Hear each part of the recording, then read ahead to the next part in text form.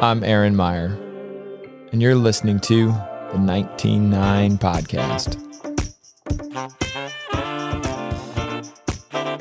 Today, we're talking to Jesse Washington, author of John Thompson's biography, among other things, about black basketball pioneers in celebration of Black History Month. We get into the Fab Five, Georgetown, UNLV, the Globetrotters, and more. Now, on to the show. Yeah, isn't it amazing when Michigan can keep this game to a 19-foot, 9-inch game inside that three-point All right, welcome to the 199 podcast. I've got Jesse Washington back. He is the author of one of my favorite books from last year and a book that's made a lasting impact on my life called I Came as a Shadow, a book about Coach John Thompson. I'm back tonight to talk about the Pioneers collection that is coming out in February uh, to celebrate to celebrate black excellence, shaping the game of basketball. And I don't know where you want to start. I, I obviously had 1984 Georgetown in mind. That's one of the collections that's coming out, but there is so much. I think that le- the more you learn about uh, basketball history, the more you learn about the you know the the black men that contributed to the game, and it's just fun to resurface it because they were ignored, you know, for so long, for so long. So telling those stories feels powerful and new still. Yeah, man. You know, I do appreciate that about your collection in that, um, you know, you're really shining a light on some of these past eras that are really important. And it's more than just a pair of shorts, man. There's there's real people who wore them, who went through real things. And so, particularly in some of the eras and, and Coach Thompson, in me working with him to write his autobiography, I learned about pioneers. you know, I learned about John McClendon and Cal Irvin and Big House Gaines. And I had known Big House Gaines a little bit, but these other men, you know, so so uh and then there's a lot about these uh the, the Georgetown teams, the UNLV teams, uh, the Texas Western teams. There's a lot about those that young people don't know. Yeah. And so, big up for keeping all that alive.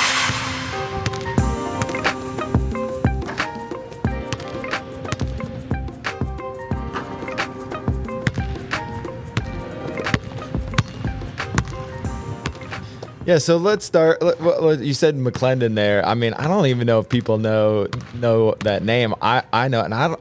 I don't even know. I get confused Yes. now from learning all this stuff. John McClendon. Yeah, because-. Yeah, because it's just like the fast break. You know, like oh oh, th- just that. You know. Let's go back before that. Yeah. Let's go back. So I'm gonna make. I'm. A, I got a confession. Okay. I'm working with Coach Thompson on his book, and he he starts saying John McClendon this and John McClendon that, like he knew, like I knew who he was, Mhm. and I should have known who he was, but I didn't. Mm. I had never heard this man's name before, so I go home and Google this up with a quickness, and I'm like, wow, I can't believe it. So, John McClendon attended the University of Kansas when James Naismith was there. oh, just oh that guy. oh, that guy, right? yeah. Um, the team was segregated. I don't know if if McClendon was a hooper himself, Yeah. But the team was segregated, so he couldn't be involved in it. But he, you know, he had an association with and learned from James Naismith. And then he went on to coach at some of these black colleges during the segregated era of college basketball. And he was the coach at a pivotal game in basketball history, Mm. The Secret Game Yeah. really good book about it if you if you want to pick it up that's the title of it the secret game so he coached a black college i think it was a&t down there and i'm sorry if i'm messing up the name forgive me if i'm getting the exact name of the college wrong and they played duke and it was one of the first times if not the first time that a black team and a white team had played and they had to do it in secret because of segregation this is like in i think the 40s Mm-hmm. and uh, when they when when the ball got tipped up, McClendon had them doing something that no one had ever seen in basketball. And when they got the rebound, they ran. They threw it up the court, layups, dunks, and then they full court pressed. They're like, "What is this?" And they ran Duke out the gym, literally. Um, and so these are are aspects of basketball that other people have been credited with Yep. inventing or popularizing. Red Auerbach, but Coach John Thompson said that John McClendon, if he didn't invent those concepts, he was one of the very first people to apply them in a real basketball game. And then he went on to coach um, international teams, and and John Thompson played for him on an overseas tour, and um, you know won many national titles in the segregated era, and just a, a, tremendous, tremendous basketball mind who's in the Hall of Fame. Yeah, so that you're talking about that, and you know, I, I, it can be a bit of semantics, like who was the first person to do this or that. But I think that what we're more talking about is that pioneering spirit, the fact that you're going out there and doing something different on a consistent basis, applying the things that you've learned in new ways. And, uh, you know, I really found that we uh, had a Globetrotters collection that came out too. And they did a lot of that, that stuff too, you know, with the, I think they get parodied a little bit now. And, uh, you know, that's that's fine, and they're great. They're still great. I know they were the greatest players on. They the were, yeah, in the twenties and the thirties, and and and even a few decades after that. Yep they were the greatest. Yeah, they like just like greatest. beating George Mikan and the Lakers. Like they showed up, played the Lakers, the national, the world champions, beat them. You know, and it, yeah. So you want tricks? We'll give you these tricks, but we'll also give you this work. Yes. So now.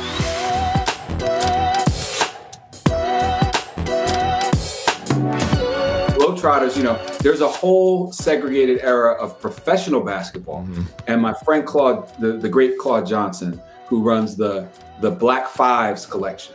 And he coined this phrase, the Black Fives, for when black people were not allowed to play professional basketball. And so they had a whole world of black basketball. and it was fascinating. Clubs, barnstorming around the country. And the Globetrotters were really an integral part of that.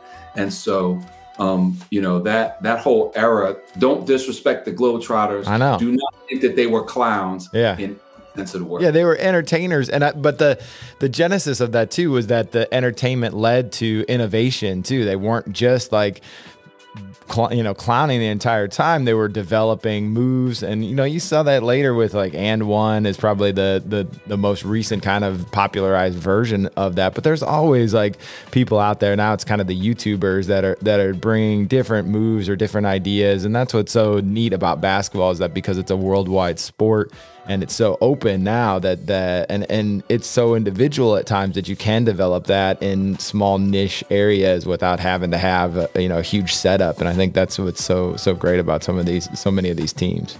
Yeah, it's amazing, man. And you know, the game is changing at an exponential rate. Yeah. And the things that guys do and the the you know like I mean, I'm old enough to remember when uh you know um somebody won the dunk contest, NBA dunk contest, just going underneath their leg. yeah. But, and now high school kids are yeah. doing it in games. Yeah, Bronny did it uh, just casually in one of his games, right. in the middle of one of his games. You know what I'm saying? And so yeah. all of these handles and tricks and everything that now are just you see everywhere you go. Um, and it's cool, man. It's a great thing. But I really put the the the Globetrotters at the front of that. And then I'm glad you mentioned and one because that was a huge and extraordinarily influential era. And I think the and one handle is in the NBA right now. Yeah. No, you know? no doubt. I mean, Kyrie no doubt about a, it. Kyrie is definitely influenced for sure. You know, yeah, among others. Yeah, among others, man. Where the game is at right now. You know, I just came back from hooping tonight. Um, nice. and me, me and my man Damon Young were talking about the fact that now guys are pretty much unguardable. Yeah like not even the greats, but just the skill level is so high that the best guys in, at every level are unguardable. And even like, I mean, I use someone like, and NBA guys are so good, man. They're, I know. top the 15th guy will just come to wherever you think you're playing at yeah. and just destroy. But like Spencer Dinwiddie is pretty much one on one in the NBA. He's pretty much scoring at yeah. will. Yeah. You know, and so I, I credit the Globetrotters with pushing the envelope of what is possible on a basketball court to, for the next generations to follow.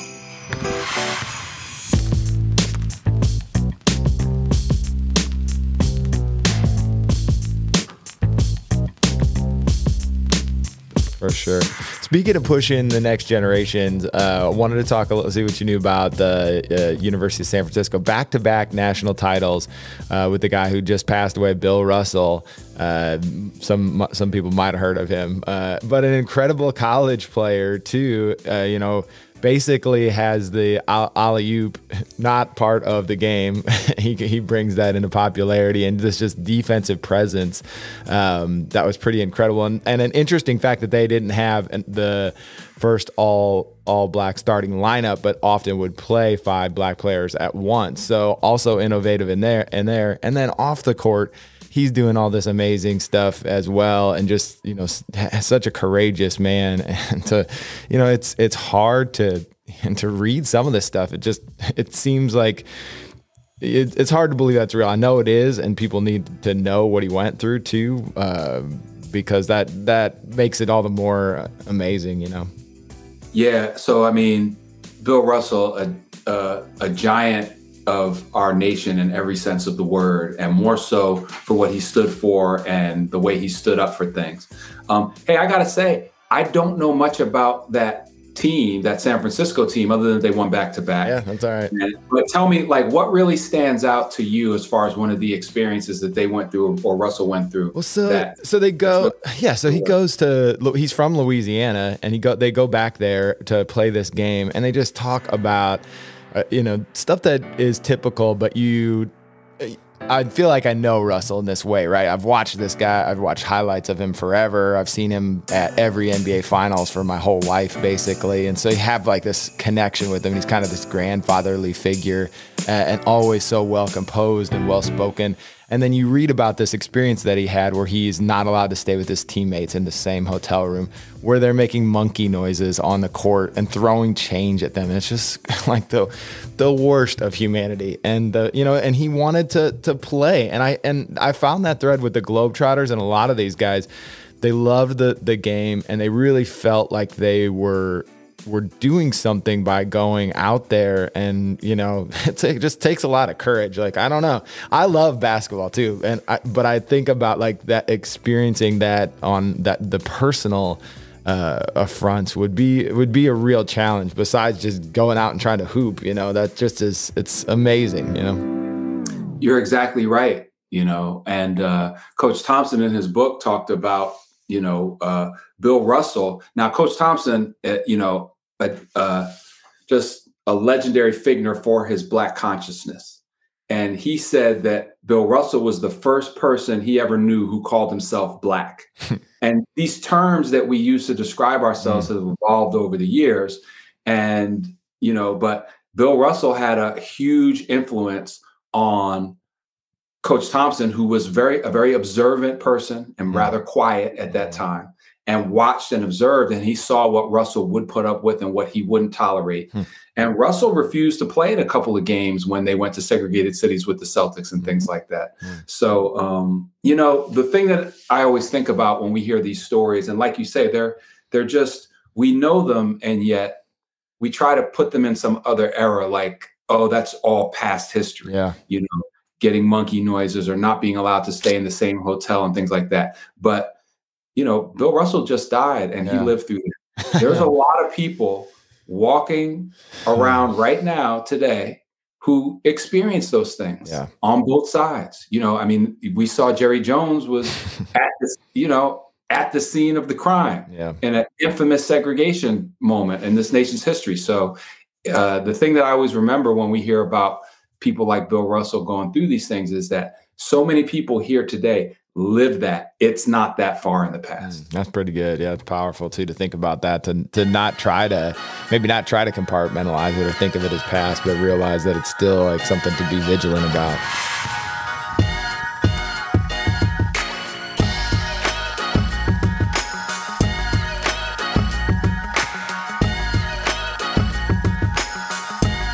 All right, well, let's talk a little, George. You mentioned uh, Coach Thompson. Let's talk a little Georgetown 84 because this is an un- unbelievable team. Um, you know, yes. the, they've got the Hoya paranoia here. And I was kind of curious what your, what coach's view was on their characterization uh, because yes. they're a very interesting team. I mean, this team is uber talented, like so many good players on this team, so much fun to watch. Uh, and certainly, like, pl- I guess, you know, played up.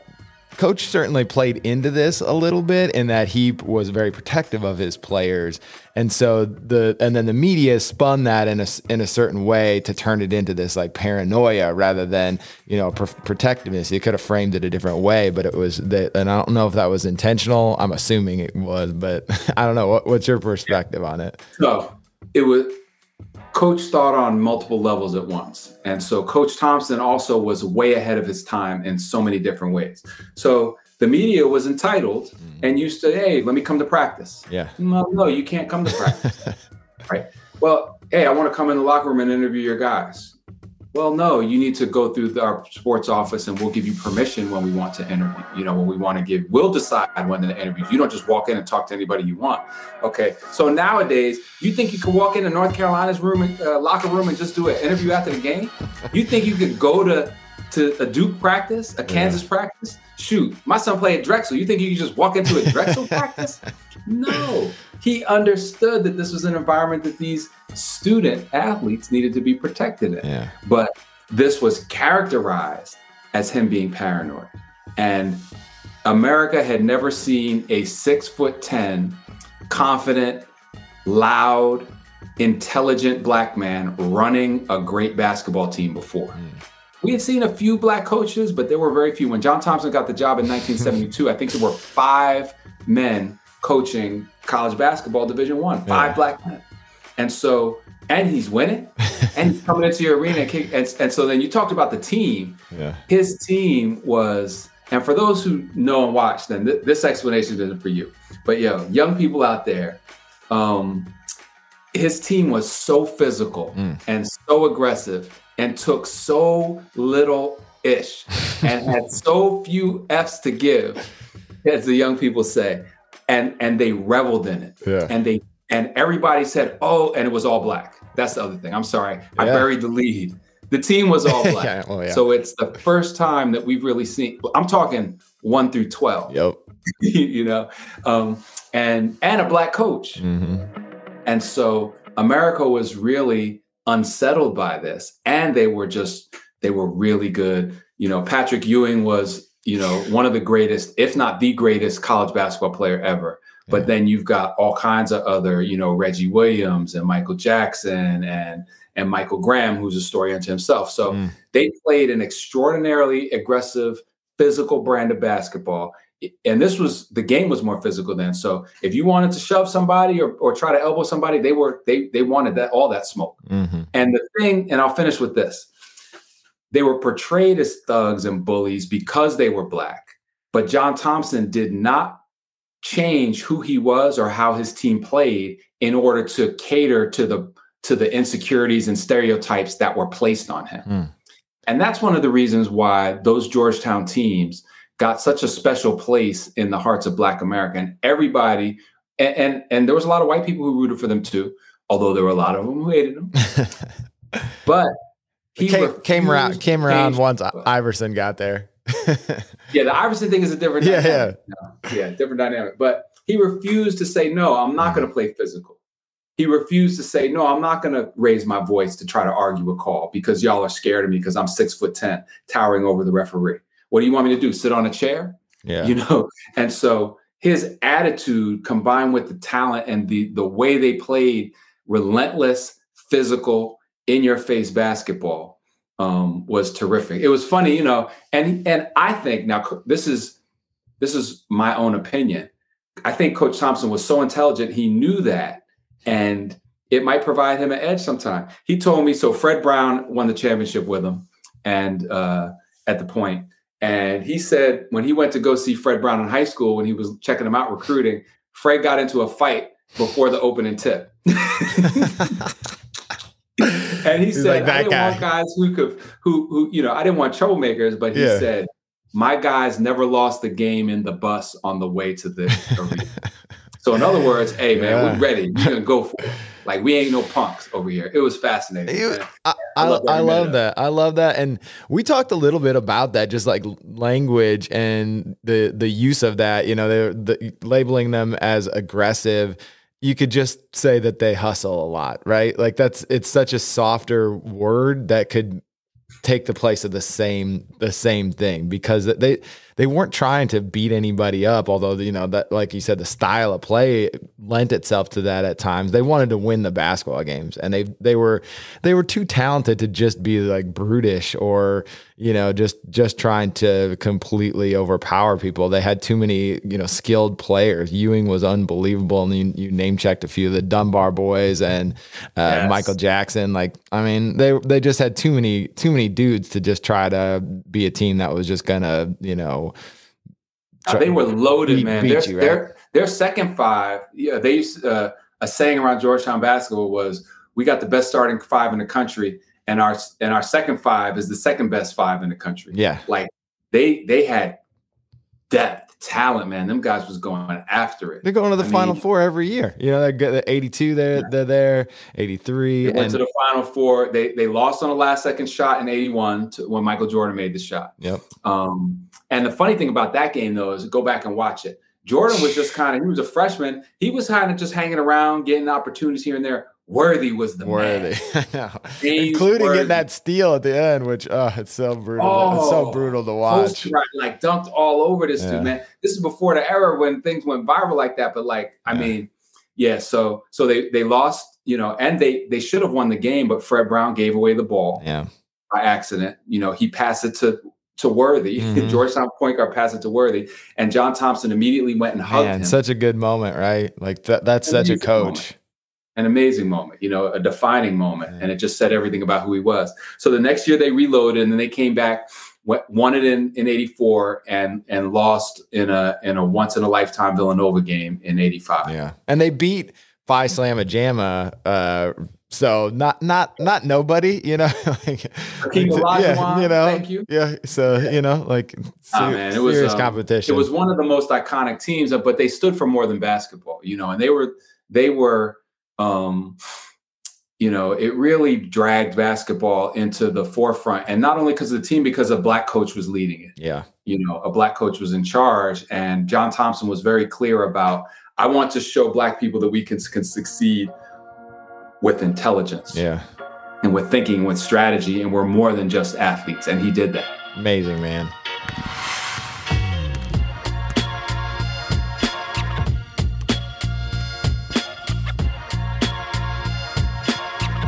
Um, where, where else do you want to go? UNLV nine, 1990 and and of course the Fab Five in '93 are the are the other two that are coming out. Two really interesting teams as well. UNLV with this another character of a coach and in Tarkanian, and then Michigan I think defined by the the freshmen, which are sophomores in '93, obviously going back to the, the man, Final Four. Absolutely. So UNLV, um, the thing about them was they had this outlaw image, Mhm. and the reason they had the out. So John Thompson was the pillar of morality and everything that's right, and all his players graduated, Mhm. and he was like this father figure. His his teams wore uh, jackets and ties on road trips. You know, he was he was very proper and correct with all that, um, and, and teaching people how to succeed in life. You know, now Jerry Cartani- Tarkanian, the coach at UNLV, had this outlaw image. Well, he's in Las Vegas, and there was like, you know, there was photographs of his players taken with gamblers, and and he was. Uh, John Thompson had a squeaky clean program in terms of rules violations. It Mhm. just did not happen. Tarkanian, not so much. Not so much. But he had that talent, boy. You know, Larry Johnson before he was Grandmama, Yeah. and uh, Stacey Augmon. And uh, you know, for us around the way, when we looked at that team, we definitely rooted for them, and they played fast and aggressive. Yeah. But then they had a dude named Moses Scurry, and Moses Scurry. Uh, Great name. yeah, yeah, Moses Scurry. Uh, I can't remember was it him or Larry Johnson who had the gold tooth? And Larry and- Johnson had, had it later, at least. I don't. He might have had one. Right. And so, and, and that, by the way, that's spelled T O O F. Um, and, and and like this was a new type of, you know, this was like a new thing, man. These guys had a, they they played into the outlaw image, and, and they was they just ran through everybody and won it. And we and Black America loved them, man. Yeah. And so it was a new generation of uh, blackness that was sort of imposing itself. And there had always been great black players and even mostly black teams and things like that.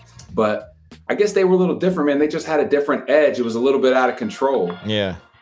John Thompson's teams were always in control, Yes. always.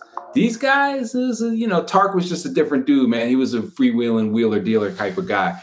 But uh, but they won it, man, and they they did their thing, and and we loved them for it. Kenny Anderson loves Anderson Hunt, who was on that that team. He was he was a dude on there for Greg sure. Anthony and Greg Anthony yeah, was the fifth yeah, starter. Yeah, yep. So Yeah, Greg great, Anthony was sort of a ruffian. yeah Like, you know, he was a very was- polished now, but yeah. So cleaned how time up. changes. Yeah, Yeah. right. The, the funny thing is that, you know, so when I grew up, this is a bit of an exaggeration, but I'm from New York and in just the whole Northeast pretty much. And every black person hated Duke. That's a, it's a little bit of an exaggeration. yeah, yeah, yeah. and you know, they that's because they came back and and smashed UNLV. Mhm. And you talk about the Fab Five, which was like the iconic black team of a, of an era, and then Duke beat them too. You know, Yeah. but you know, to segue over to the Fab Five, they were probably what I would say the first. Like Georgetown was hip hop, but hip hop wasn't a big enough cultural force yet. Mm. 84 hip hop was still underground. And it's funny to say that now, you know, when hip hop is like the dominant thing in Yeah. culture and everybody listens and white people enjoy it and and everybody enjoys it, Yeah. which is cool. Yeah. But in 84, man, most like black people over age 28 didn't like Right, hip yeah, yeah, yeah, yeah. you know, That was the kids thing. Yeah. in 84, it was barely on the radio in New York City Yeah. Crazy. you know and so so georgetown had was part of the the evolution and the growth and the explosion of hip hop but hip hop culture hadn't gotten as big as it did when the fab five came along about. and they were just super hip hop Yeah. and so and and people you know embraced it it sort of played off and magnified the culture it really predated what we have right now where hip hop and, and basketball are very you know almost synonymous and there's so much overlap in terms of the styles and the the swag and and you got all the, the you got actually halfway decent ball players who rap Yeah. know? Right. Yeah. Right. you know Yeah. and so you know Some of the ra- some of the rappers can can actually play ball now. Yeah, some Jake. Yeah, Okay, yeah. one hand. I got one hand of rappers who can play ball. These Well, are the you ones know, you know. Quick rabbit hole before we get back to Michigan. okay. And I, this is like a pet peeve of mine Okay. Okay. because rappers get out there and and they try to act like they have game, and I really don't think You okay? I don't. First of all, half of them dudes is like five six. Yeah. So Have you seen the court that Drake has in his house? Yeah. So Drake is number one on the list of the rappers who think they can hoop. yeah, yeah. Like I'm 53 years old. I will smash Drake. well, he's got a mix. He's got a mixtape out there. I'm sure, though. You know that that's See, cut that- together. that That's cut irks me, together. man. Now stay in your lane, bro. You make great music. That's right. Don't come over here acting like you can hoop. That irks me. That's fair. And then people don't really want to guard them because he's Drake. Yo, yeah, don't yeah. let me get in front of Drake on a court, man. I'll, I'll make yeah. But anyway, I think J Cole can really hoop. Yeah. I respect his game. Um, I think uh, I hear. I think it's Dirk. I hear Dirk got, got some game on him. Um, uh, Jack Harlow, absolutely not. and he's starring in the remake of uh, of of um, White Man Can't Jump. Oh, oh, wow. Okay. Yeah, yeah, but I mean, I get it. You have Yeah. to cast him. He brings the audience, Yeah. but and yeah, yeah, man. So uh, yeah, it's a short list of, of rappers who can actually hoop.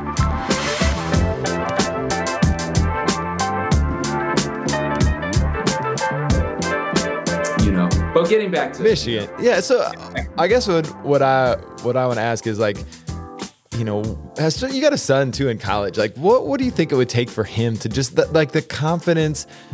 I mean, I think young people have more confidence now, but in you know 1992 when they're coming into college, it still is like it feels very it felt very avant-garde for what they the way they carried themselves still you know as they're the the again started like you said with with georgetown and uh, to unlv but unlv is on that Vegas West Coast thing. Like this is the middle of America, the Big Ten. They're playing against like Bobby Knight. It, it is just a different thing to walk onto those courts with with carrying themselves with that confidence and that that aura and representing themselves in a way that made that you know maybe made them feel more confident. You know, being who they they were. I don't I don't know, but it also seems Yeah. seems daring at the same time. I think you're exactly right. And, you know, I guess we sort of, again, buried the lead and just took it for granted. But for those who don't know, the Michigan's Fab Five team was five freshmen. Yeah. Yeah. And they came in and they were not, it wasn't like, it wasn't like now where you got these, you, you expect the freshmen to come in and and dominate and stuff like that. Like the the development has been sped up. But you know, you have freshmen who came in and contributed, but five of them Yeah. starting, and not only starting, but wrecking shop. Yeah. You know, like like running through cats, and the confidence level, man. I think it really all sort of. I think Jalen Rose was the the leader of that emotion that they had and that swag. And and for those who don't know, like they played a very aggressive, in your face, talking trash, hmm um, going forehead to forehead with you if you wanted some smoke. You know, not fighting, but letting you know that you know ain't no punks over here. And uh, and and just like they did have a huge amount of confidence. And to me, that comes from a very particular type of basketball environment where people are trying to murder you out there, metaphorically speaking. Mm. And if you want to stay on this court, first of all, it wasn't like going to work out with trainers. This is the 90s, right? Yeah. So to get good, you didn't have no trainer. You didn't go and, and work out with cones and, and, and putting stuff on the internet. Dr. Dish. You went and found a run. And if you were good, you had to play against people who were better than you and older than you and bigger and stronger. And they grew up in that gym in St. Cecilia's gym Yeah. in Detroit, Michigan, like trying to hold the court down. Hmm. You know, trying to hold the court down. And if you lose, you're not playing again. You're five games back. Yeah. You know, and just that type of confidence and people really trying to take your heart and talking at you and pushing you around. Like Jalen Rose came through all of that fire. Hmm. Plus, he was six eight with a handle. Yeah. and, and- and couldn't tell him nothing. So I think they all fed off that, man. And Yeah. and then and then they just had, you know, they had three great, you know, future all-star level NBA guys and two other dudes who was probably NBA level, but just, you know, didn't get that shot. Like, Yeah. you know, Jimmy King and um and Ray Jackson. right there. And Yeah. Juwan Howard, Chris Webber, and Jalen Rose, man. It's one of the best college teams of all time as freshmen. So it, it, it was just it was really a moment man and then their style i think the hip hop part of it came because they they were the the shorts had been creeping down Mhm. and it's funny because in my lifetime i've seen the shorts go i've actually worn the shorts when i was in college in the 80s they were tighty whities and then they started going down a little bit and mj wore his carolina shorts under his bulls shorts yeah. that was a thing for him. And so his bull shorts were a little bigger. The shorts got a little bigger. And then all the baggy hip hop stuff started coming out. And the Fab Five had them joints down to their knees, had the shorts down to the knees. Yeah. And then it was all bets were off. Oh. The shorts was, there's TJ a few. TJ You know- Ford when he was at Texas. Oh man, he he took I it. To, he took it all the way down. All the way down. I love it. There was some Shinland. It was Yeah. cool out. Yeah. yeah. But the Fab Five really did that. They they all shaved their heads and Yeah. they, and they had the black socks. And it was just a vibe, man. It was a vibe of defiance, of resistance, Mm. of we're going to do our own thing, you know, no matter what. And uh, and we're five freshmen, and they went all the way to the championship game, and then got blown out by Duke. Yeah. Blown out. yeah. Uh, by Duke. The, the, and, and this is in the early 90s, man. I'm telling you, man, the majority of black people hated Duke at this Yeah. point. yeah. I'm, I'm convinced of it. Yeah, Like, sure. Well, they weren't Nike. They weren't. They weren't so associated with Nike. It wasn't so much about the sneakers at, at that time. So it was more about the Yeah. schools. Well, because Duke, you know, Duke had a higher percentage of white players, and Yeah. it was a type that they had. They were preppy. They Yeah. were no, you know, Christian Laettner was, you know, it, it was an image that they had, and the image was partially true. Black people started rocking with Duke when they started recruiting one and dones. hmm You know, it's simple as that. They started recruiting a different type of kid. Um, you know, I believe that during the 80s and early 90s, you probably needed a certain SAT score to get into to be recruited to Duke, and now you don't. Now Yeah. you just need the bare minimum. Yeah. You know, so they decided to do that. More power to them. But nah, man, you know, and then the Fab Five went all the way back to the championship game in back-to-back years and lost on that really unfortunate Crazy timeout ending. that they didn't have called by Chris Webber. Um, I encourage everybody to watch the Fab Five documentary on Oh. ESPN. Yeah. Um, it's tremendous, and it has it told me some new information about that timeout. There were guys on the bench signaling to take Mhm. the timeout. So, uh, but despite all of that, um, the Fab Five is uh, you know for you guys to have those shorts I know. um, and the and, and the whole the whole setup with with them is um, you know, I think it's just it's it really makes me remember fondly to a team that changed the game. Yeah. You know, five young black kids from around the way who just changed the game of basketball and how you could express yourself on the court and the expectations we have for freshmen. It was yeah. tremendous. The enthusiasm that they that they played with was really fun because I think that one of the things that happens to freshmen often is that they feel a little bottled up because they're they, if they def, you know don't meet expectations they're quickly on the bench right for replaced by somebody else and they they were so talented that they demanded uh, to be on on the court uh, through the way that they were playing and that allowed them to just like express their the the like you said the elements of their game that people hadn't seen you know hadn't seen in freshman or in college basketball altogether there the combination of players was just a lot of yeah. fun and they were villainized because they were brash young men. And mm-hmm. at that mm-hmm. time, you know, so this was my first job out of college. This is 92, 93. And I was actually working in Detroit for the Associated Press. Okay. And at this point, the sports media is a lot blacker now than it was then. Yeah. You know, what's that, about 30 years ago? Yep. And so uh, a lot of people hated Michigan. Shut up, calm down, you talk too much, you're too mm-hmm. flashy, you're this, you're that. You know, like a lot of people hated them. They were the villain of the tournament. Yeah. You know, same way that Georgetown was the villain. You know, when John Thompson would walk into some arenas, the, the opposing band would play the Darth Vader music. I, yeah, he, he might have loved that. Let's face it, man. Let's face it. This is racist. Yes, that it's just racist, man. Yeah, I know. It's racist. Jesus. Yo, Sports Illustrated yeah. in the Big East Championship, and I think it was '85 when they played Syracuse. One of their quote unquote great writers did the write up on the Big East Championship game, and the first Curry Kirkpatrick, and the first sentence of the article was those noted scholars from Georgetown. Oof. Yeah. Oh, are you serious? That is so racist. So, so this is the environment that these guys were playing in, yeah. and then and people hate them because of it. Yeah. You know? So so they went through it like I hope everybody who who buys the gear and sports it sort of reps it like it's sort of come full circle. Mm-hmm. And these and we understand now what was going on and why these teams were important and sort of some of the things that they had to go through. They had to win with that on their back. Yeah. And so so um, Yeah, use it to give you courage and confidence and and go out there. I know a lot of uh, you know learning about history and about uh, people that went through things that are what you know ten times worse than things that I've had to go through inspires me through to, through tough the tough things that you do have to go through and feel lucky that you you don't have to go through that level. Uh, but you can learn from the way that they carried themselves through those moments, and it can inspire you to do to do your best in those tough times. That's true, man. And there were a lot of white allies that were involved with these teams, you know, and and really championed these causes.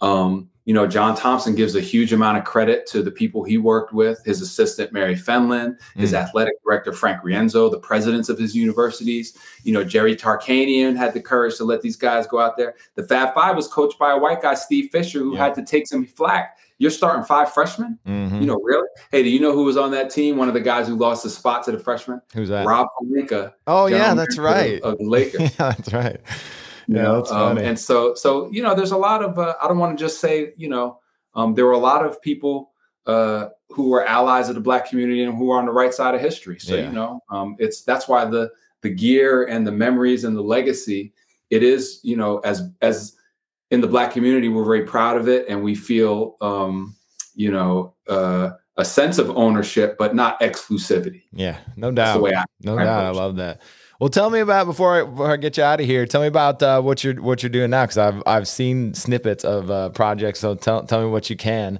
about yeah, what, man, you're, what you're working on. The, the, big one is that um, uh, I'm fortunate to be helping Rich Paul write his life story, and it's called Lucky Me. It's out in June.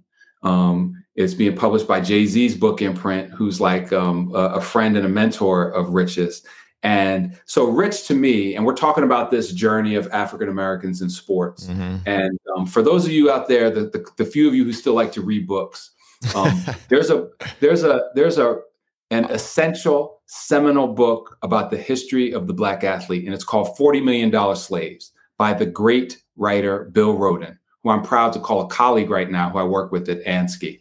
And um, this book really shows how the development of the black athlete, covering all these eras that we've talked about, in all these different sports, mostly um, football and basketball. But then, and it was published about 20 years ago, and it mm. stops. And we bump our head up against the ceiling when it comes to control and full economic participation mm-hmm. in these sports in terms of ownership, coaching position. Um, it was written at the tail end of Michael Jordan's era, where Michael Jordan felt that he would sacrifice his financial opportunities if he was outspoken in terms of Black causes. Michael Jordan did not really speak out like that. Um, but now, Rich really represents this era of full Black empowerment. Mm-hmm. So, Rich Paul, um, he did not grow up with LeBron, contrary to popular opinion. yeah. Rich Paul is from Cleveland yeah. and had a whole separate upbringing. And he met LeBron when LeBron was in high school, met him by accident, and they became friends. And Rich Paul has a set of experiences that prepared him to do exactly what he's doing now, which is running the the what I consider the most important and disruptive and game-changing sports agency in the world. Mm. And so he started Klutch Sports and there's a big misperception that oh, LeBron just hooked him up mm. and he's a puppet for LeBron.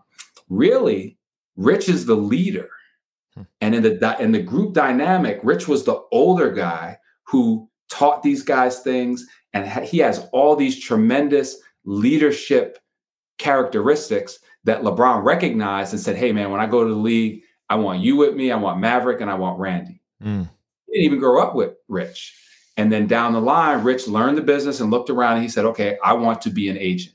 Mm-hmm. And and actually, LeBron wasn't his first client. you know, it was Eric Bledsoe you know, and then Tristan Thompson and Corey Alexander huh. and LeBron. And so from those four guys, he now has in the NBA, he probably has 50 clients. Um, I think he had eight guys in the All Star game last year.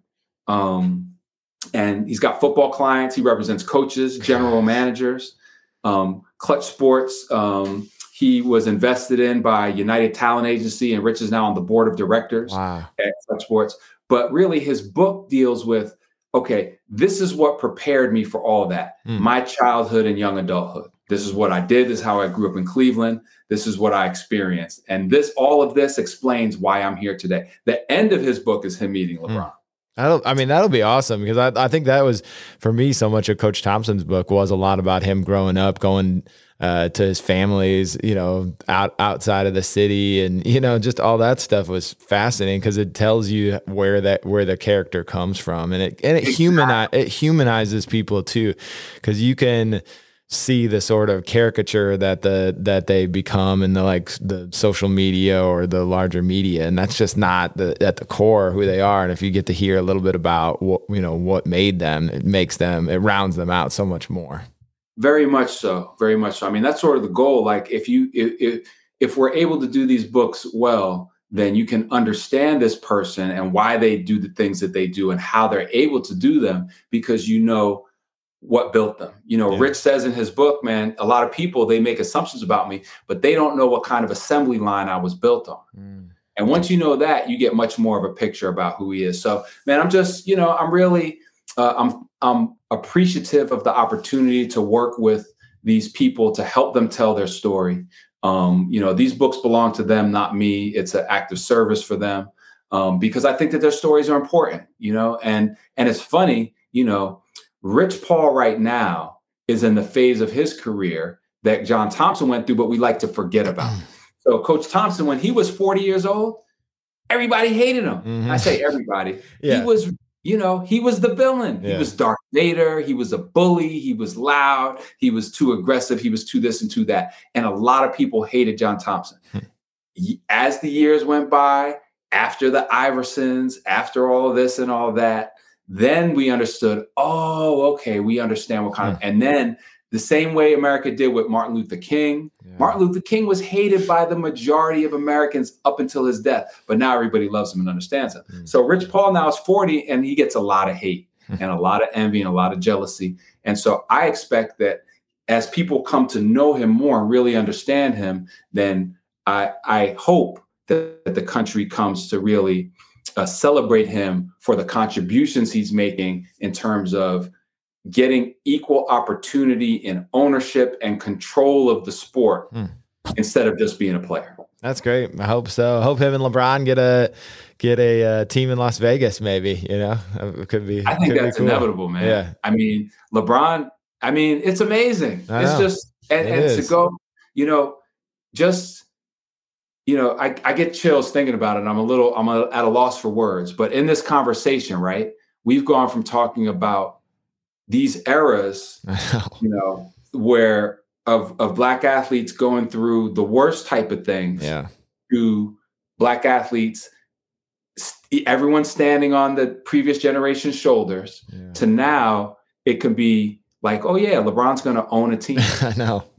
oh rich paul you know is one of the most powerful guys in the league a black agent Yeah. you know a young a young black agent who didn't check all the boxes and go through all the jump through all the hoops that that you're supposed to to jump through you know um and so to me it's like we're we're in an age now where all of the sacrifices of the Bill Russells and the John Thompsons and and and all the ones that we don't know about and the John McClendons they're bearing fruit and I'm just you know I'm I'm thankful for that that we've made it and there's more work to do but it's No just doubt. I think um, anybody who doesn't appreciate the journey, man, should really read up and, Yeah. and give them for facts. sure.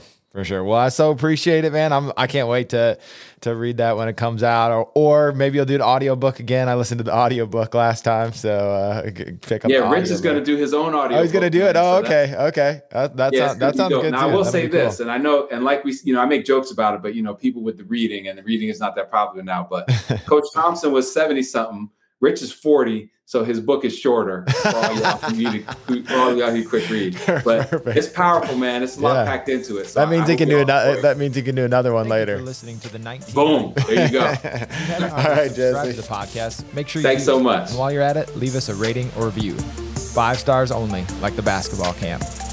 We also have links to all of 199 social media so you never miss a release. Until next time,